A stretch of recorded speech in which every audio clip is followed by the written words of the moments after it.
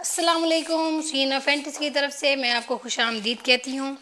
आज मैं बनाने जा रही हूँ चटपटा राइस अचार गोश्त के जो होते हैं वो अचार गोश्त में सारा डलेगा इसके अंदर। इसके लिए जो हमें इंग्रेडिएंट्स चाहिए वो ये हैं। मैंने ये पाँच प्याज ले लिए थे उनको इस तरह से मैंने कट कर लिया है। ये डेढ़ कप ऑयल है पाँच गिलास मेरे चावलों के हैं। कप जो होते हैं मैं आप, आपको कप भी दिखा देती हूँ मेरा कप किस साइज़ का है। अच्छा खासा मेरा कप बड़ा है। तो ये पाँच कप मेरे जो हैं राइस के हैं, मैंने उसको डेढ़ घंटा पहले भिगो के रख दिया है। और उस हिसाब से मैं आपको ये चीज़ें बता रही हूँ। ये पाँच मेरे प्याज हैं, मैंने इनको इस तरह से कट किया है। ये लहसन है, पूरा एक जो एक लहसन होता है, उसको छील लिया मैंने। ये पाँच छः सब्ज मिर्चें हैं। ये देखिए टमाटर, ये मेरे पास फ्रीज़ हुए टमाटर हैं, मैं इनको ब्लेंड करूँगी। इसको और लहसन को मैं इकट्ठा ही ब्लेंड कर लूँगी। और वन के जी ही मेरे पास चिकन है। ये है अचार गोश्त मसाला। किसी भी ब्रांड का, किसी भी कंपनी का आप ले सकते हैं। पूरा ये डलेगा इसके अंदर। जी, अब हम अपनी रेसिपी स्टार्ट करते हैं। ये देखेंगे ये मैंने प्याज और ऑयल डाल दिया है। जो मेरी हेल्पर हैं, वो टमाटर और जो गार्लिक है, वो ब्लेंड कर रही है। ये देखिए जी, ये मेरे प्याज ब्राउन हो गए। अब मैं ये जो ब्लेंड किए थे टमाटर और जो लहसुन, वो मैंने इसके अंदर डाल दिया है। और अब मैं इसके साथ ही चिकन डाल दूँगी। और मैं एक किलो से ज़्यादा मेरा चिकन है। और जी, ये मैं साथ ही अच्छा मेरा राइस ना एक किलो से ज़्यादा है। तो मैं ये एक के बदले मैं इसको डेढ़, ये जो है पैकेट, ये डेढ़ पैकेट डालूँगी।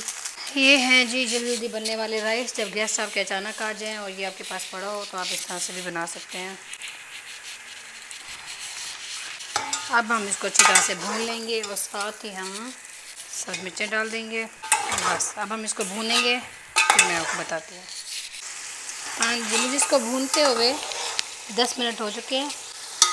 अब मैं इसके अंदर पानी डाल दूँगी। ये जी पाँच गिलास है तो वैसे तो दस डालने चाहिए, लेकिन मैं आठ गिलास पानी का डालूँगी, क्योंकि मैं चावलों को ज़्यादा देर भिगोती हूँ। इसलिए मैं इसके अंदर आठ गिलास पानी के डालूँगी। ये थे मेरे छः गिलास, दो गिलास मैं और डालूँगी। साथ ही मैं ये सॉल्ट डाल देती हूँ। वो आप हंसब जायका लीजिएगा, लेकिन मैं वन, टू,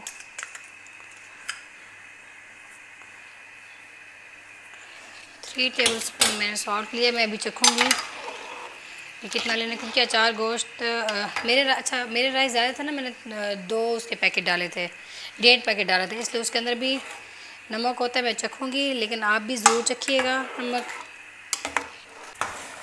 देखिए, पानी मेरा बॉईल हो चुका है। मैंने इसको छान लिया था। इसके अंदर अच्छा मैंने नमक आधा चम्मच और डाला है। मतलब कि three and half tablespoon Chinese नमक भी मैं डालूँगी। अब इसको, जब उबाला आएगा तो मैं आपको दिखाती हूँ। ये इस स्टेज पे आके हम दम लगाएँगे। हो जाएगा। ये देखें, जब मैं इसको दम पे दे रही हूँ। ये आँच मेरी मीडियम हो जाएगी। चलें जी। पंद्रह मिनट का हम इसको दम देंगे, उसके बाद फिर मैं आपको इसकी फ़ाइनल लुक दिखाती हूँ। जी, ये देखिए, पंद्रह मिनट हो गए हैं। ये देखें जी इसकी ये फ़ाइनल लुक चलिए हम इसको डिश आउट करते हैं।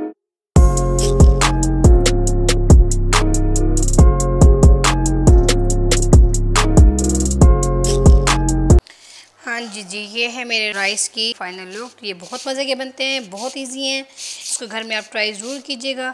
अगर आपको मेरी वीडियो अच्छी लगे, इसको लाइक करें शेयर करें और मेरे चैनल को सब्सक्राइब करें.